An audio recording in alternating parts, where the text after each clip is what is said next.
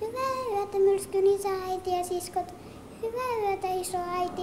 Nyt se tuommoista ollaan rakastu.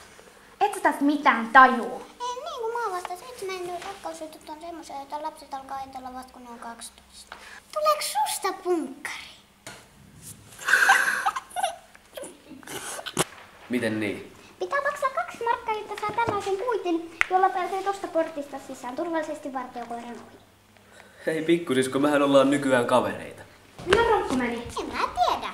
Oliko se tulos meille? Oli, mutta sillä ei ollut rahaa, jolla se olisi saanut tällaisen kuitin, jolla pääsee tästä portista sisään. Tajutko mitä sä oot tehnyt? Mä oon tehnyt mun portinvartijan työn. Sä oot tuhannut mun elämän! Kenen täällä vastuuntuntoa? Ei kaksi nyt koirat koulutaan tappaa ihmisiä, sit kun ei tarvitse tappaa, niin tapetaan koirat.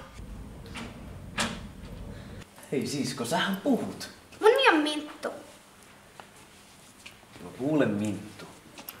Se punkkareiden mielenosoitus on vihdoin. Haluaisit sä lähteä sinne mun kanssa? Miten niin myrsky pelasti sut? Voitaisko me alkaa olemaan taas yhdessä? Eikö sua hävetä liikkua tämmöisen naapurityön kanssa? Jos sä oikeesti tykkäät musta, sä tuut hakemaan mut meiltä. Sovittu.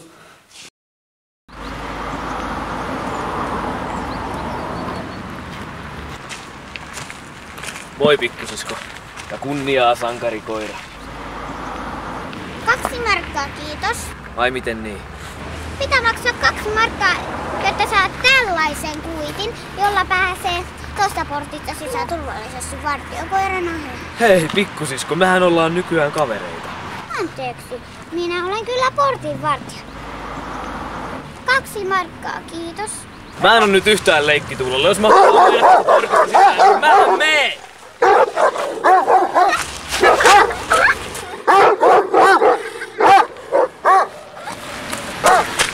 Meni? Onko se tulos meille? Pääsee portista sisään. Tajutko mitä sä oot tehnyt? Mä oon tehnyt mun portinvartijan työn. Sä oot tuhannut mun elämän!